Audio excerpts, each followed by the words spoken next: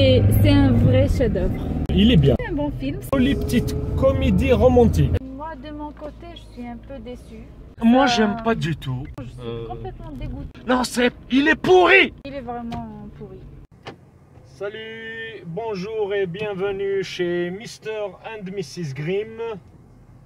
Toujours euh, Mister.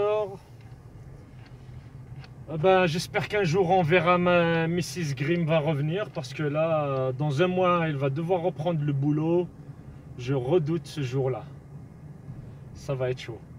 Euh, sinon, revenons à nos moutons. On est jeudi et pas mercredi. Et aujourd'hui, on va voir Mission Impossible Fallout ou Mission Impossible 6. Euh, donc, un nouveau Mission Impossible avec euh, Tom Cruise dans le rôle d'Ethan Hunt, encore une fois. Euh, toujours réalisé par Christopher McQuarrie. Et ça fait de lui le premier réalisateur à faire deux épisodes Mission Impossible et même à faire deux épisodes de suite. Parce que Christopher McQuarrie, c'est celui qui a écrit et réalisé Mission Impossible Rogue Nation. Et c'est lui qui a écrit et réalisé ce, cet épisode-là, qui est donc la suite. D'ailleurs, dans le casting, euh, en plus de Simon Pegg, euh, euh, Ving Rhames, euh, Tom Cruise, et il y a l'actrice là, comment est-ce qu'elle s'appelle euh, J'ai plus son nom. Il y a Solomon Lane, l'acteur, il s'appelle Harris. Je me rappelle pas de son prénom. Qui revient aussi. Euh, donc c'est la suite de Rogue Nation. Ça a l'air d'être intéressant. Et en plus, comme c'est écrit, scénarisé par le même euh, scénariste et réalisateur, ça va être du bon. Alors, je l'avais dit la dernière fois, les Missions Impossibles, j'ai beaucoup aimé le premier, qui est sorti en 1998. Euh, donc allez, pour faire déjà, comme ça on fait le bilan Mission Impossible, le bilan Tom Cruise. Euh, Tom Cruise en 98, il était déjà persona non grata au vu des producteurs et pas réalisateurs, plutôt producteurs de l'époque à cause de sa secte. Et en plus, il commençait un peu à faire la pub euh, ouvertement et en parler ouvertement. Tant qu'il était discret, ça ne dérangeait personne. Mais voilà, il s'est retrouvé son rôle et il a décidé de créer sa propre boîte de production qui s'appelle Cruise Wagner parce qu'il l'a créée avec une certaine Paula Wagner que je connais pas. Donc en 98, ils ont acheté les droits de Mission Impossible pour faire leur premier Mission Impossible. Donc il est producteur, acteur principal. Il a réussi à se payer Brian De Palma à la réalisation. Et pour l'époque, euh, 96, euh, le film a coûté 80 millions de dollars. C'était déjà cher pour l'époque. Euh, mais c'était quand même. euh, ça reste l'un de mes missions impossibles préférées. Le premier, je sais pas. Je, j'ai les trois premiers en DVD, mais le premier, je l'aime bien. Euh, après, pour le 2, je crois que c'est en 2001 ou 2002, il s'est payé John Woo à la réalisation. Scénaristiquement, il y a des choses à dire sur le film. Après l'action, moi à l'époque j'étais fan de John Woo, je le suis encore, j'aime bien son style. Il y a des scènes un peu abusées, mais ça reste un bon film d'action. Après il y a eu le 3, il s'est payé, euh, je crois que pour John Woo ça a coûté dans les 120 millions, euh, le deuxième Mission Impossible. Parce que là le dernier c'est le plus cher. Après il s'est payé Gigi Abrams pour euh, Mission Impossible 3. Euh, moi, c'est là que j'ai arrêté d'acheter les Missions Impossibles. J'ai pas aimé du tout. C'est celui que je déteste le plus, le Mission Impossible 3. Euh, qui a coûté quand même dans les 150 millions. Euh, le 3, 4, 5, ils ont coûté à peu près dans la même tranche et ils sont dans les 140, 150 millions. Donc le premier 80, le deuxième 120 ou 125. Après les trois autres, ils sont 150, 145 ou 145, 150, 150. Après, il y a eu The Phantom euh, Protocol euh, réalisé par Brad Bird. J'avais oublié de le dire. Brad Bird, c'est celui qui a fait Les Indestructibles. Euh, qui est pas mal, mais je sais pas ce qui me dérangeait dans le film. J'ai pas beaucoup aimé. Après, il y a eu Rogue Nation. Rogue Nation, ben, vu que j'ai su que c'est Macquarie qui réalise le film, Heureusement qu'il était sur Netflix parce que je l'ai pas en DVD. Je l'ai revu. J'aime bien ce côté complotiste parce que dans toutes les missions impossibles, si on regarde bien, si on les analyse bien, c'est toujours un ancien agent secret qui passe du mauvais côté de la force, qui passe de l'autre côté. Il en a marre de. Dans toutes les, missions possibles. Dans le 1, il voulait juste s'enrichir. Euh, dans le 2, il voulait propager un virus pour exterminer du monde. Euh, dans le 3, je me rappelle même pas, et pourtant c'est Seymour Hoffman, l'acteur principal. Ne me rappelle même pas c'était quoi ses ambitions. Dans le 4, il voulait déclencher une guerre nucléaire en balançant un missile russe sur les États-Unis ou l'inverse. Et dans le 5, c'est un agent secret, l'un des meilleurs, mais tellement il connaît des secrets qu'il a été abandonné par son pays et tout pour des missions et machin, il a décidé de se venger en détournant les fonds noirs qu'ils mettent pour ça. Pour... Donc, euh, je l'avais dit, j'aimais bien ce côté complotiste. Donc, c'est quelqu'un qui connaît bien les secrets des autres et qui essaye d'emmerder le monde avec ça. Donc voilà, Rogue Nation, j'ai beaucoup aimé. Et Macquarie, donc il, il va nous pondre la nouvelle. Pour ceux qui veulent savoir c'est qui Macquarie, il est acteur, réalisateur, producteur, scénariste. Alors comme scénariste, je vais vous donner un film avec Brian. Il a beaucoup collaboré avec Brian Singer et Tom Cruise. C'est celui qui a écrit euh, Usual Suspect. Ceux qui connaissent Usual Suspect, c'est Christopher McQuarrie qui, l'a écrit. Il a aussi écrit euh, Valkyrie, le film avec euh, Tom Cruise. Il a écrit The Tourist, euh, je crois c'est Angelina Jolie avec Johnny Depp, mais je ne l'ai pas vu ce film honnêtement. Il a un film que j'ai beaucoup aimé, Jackie le haricot, le chasseur de géants, qui est une réadaptation du conte Jackie le haricot magique. Un film qui n'a pas eu beaucoup de succès, mais que moi j'ai beaucoup aimé. Edge of Tomorrow, c'est lui qui l'a scénarisé, le film de Tom Cruise où il voyage dans le temps quand il meurt et il repart 24 heures en arrière un film que j'aime beaucoup aussi. Hmm, il peut avoir des défauts. Il a écrit La momie, le film avec Tom Cruise aussi. Et prochainement, il s'apprête à écrire euh, Top Gun euh, Maverick, donc la suite de Top Gun. Espérons que ça vaut le coup parce que euh, Maverick, s'il existe encore, il doit être à la retraite, donc on verra. sinon, Jack Reacher, c'est lui qui l'a écrit et scénarisé il a réalisé Jack Reacher et Rogue Nation avec euh, Tom Cruise. Euh, il y a un film, deux films de sa part que j'attends. Il y en a un dont il est scénariste, c'est le biopic sur euh, Antoine de Saint-Exupéry. Ceux qui connaissent pas Antoine de Saint-Exupéry, c'est celui qui a écrit Le Petit Prince. Il est en train d'écrire un biopic sur lui qui va être en film bientôt. Et il est en train d'écrire un scénario, mais un film qui va être réalisé par Ridley Scott l'adaptation de ma série préférée quand j'étais petit, numéro 6, Le Prisonnier. Euh, sinon, voilà, sur Mission Impossible, qu'est-ce que je peux dire d'autre? Resalut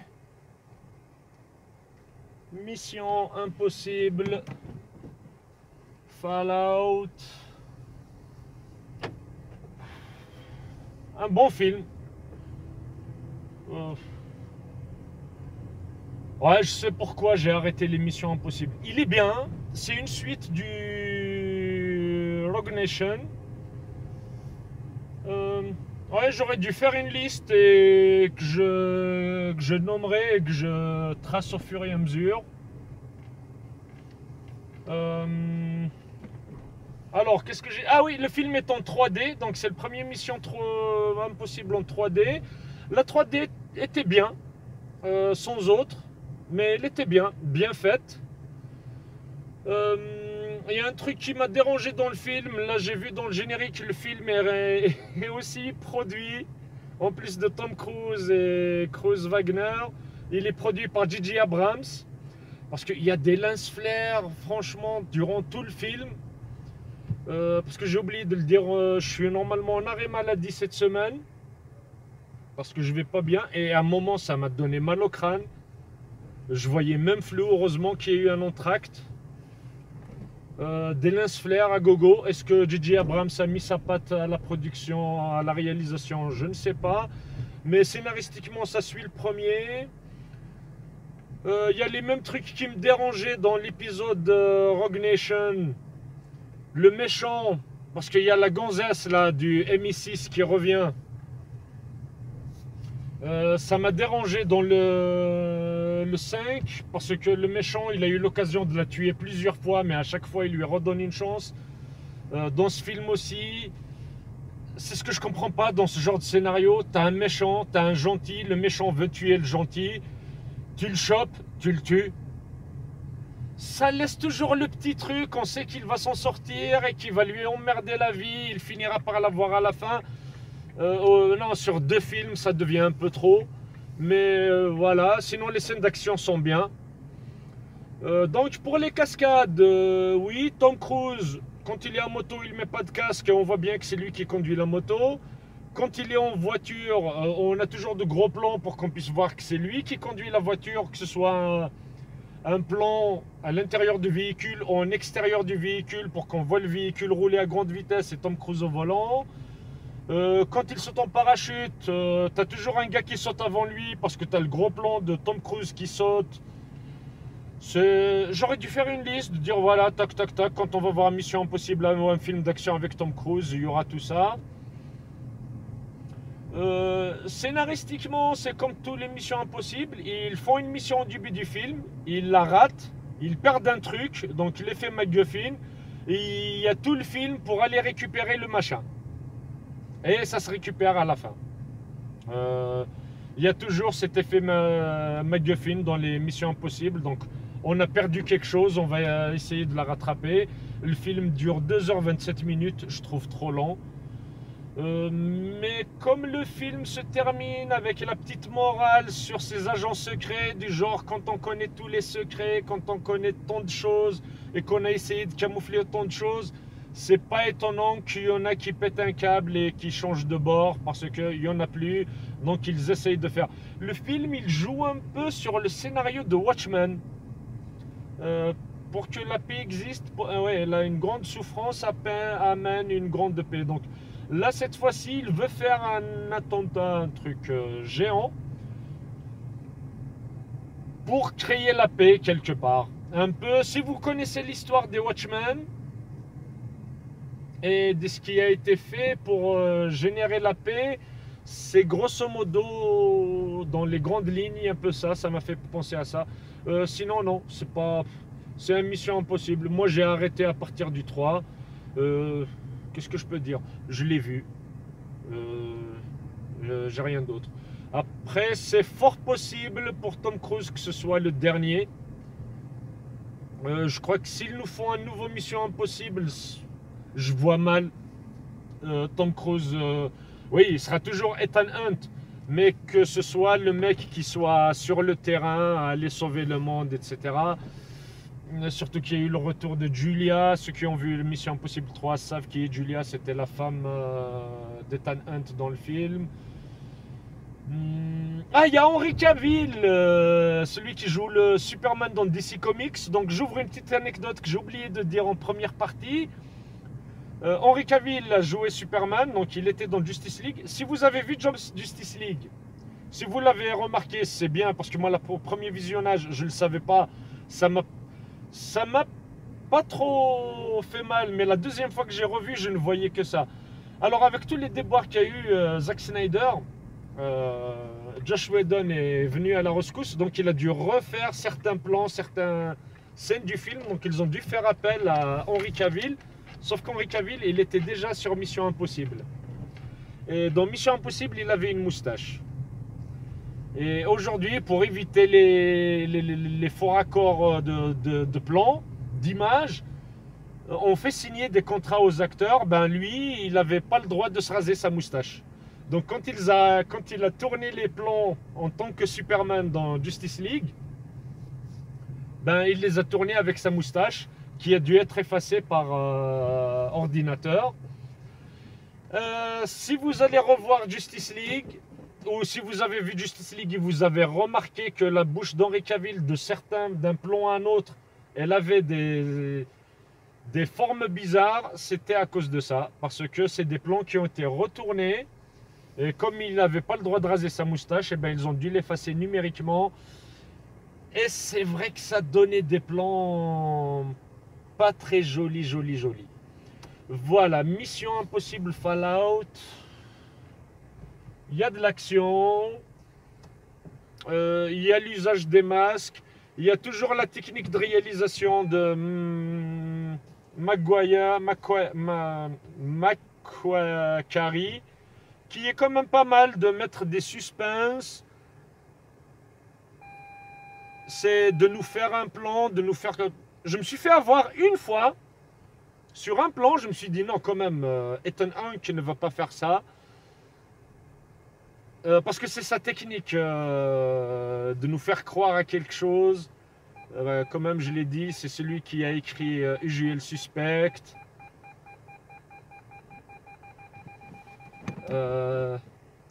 Il, aime faire ses petits suspens de nous prendre à contre-pied. Mais sinon, rien de, de spécial. c'est une mission impossible, je l'ai vu et c'est tout. Il est en 3D. La 3D, elle en vaut la peine, elle est pas mal. Les scènes d'action, ben, c'est Mission Impossible, c'est le sixième du nom, donc euh, oui, il y a des choses, mais pas plus. Euh, qu'est-ce qu'il y a d'autre? Non, j'ai pas grand-chose à dire. J'espère qu'il y a une salle de cinéma près de chez vous. Mission Impossible Fallout. Euh, moi, pour ma part, je l'ai vu. c'est tout. J'ai rien d'autre à, à dire. Voilà. Euh, sinon, on est, on est quelle date aujourd'hui? On est le 2 août. La semaine prochaine, un film que j'attends bien, c'est Equalizer 2 avec Denzel Washington.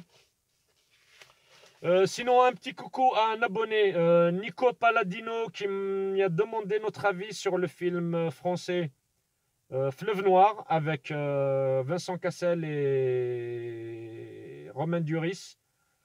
Alors, je te promets rien, le film est encore à l'affiche euh, pour ce week-end. Honnêtement, si j'ai le temps, ou si je peux, je m'organise avec madame, euh, j'irai le voir et faire une vidéo dessus. Euh, sinon, on attendra la sortie en VOD et on essaiera de faire quelque chose. Donc, on va voir pour ce week-end. Sinon, la semaine prochaine, Equalizer 2. sur ce, euh, ma première vidéo, elle a été coupée parce que j'avais plus de mémoire dans mon téléphone. J'espère que j'en ai encore. J'ai dû effacer deux trois petits trucs pour laisser de l'espace. Je vous dis, n'oubliez pas de l'apser, likez, euh, pensez à vous abonner si vous n'êtes pas abonné, activez la petite cloche pour avoir les notifications et à partager euh, tout ça avec le smile. Ciao, à la prochaine.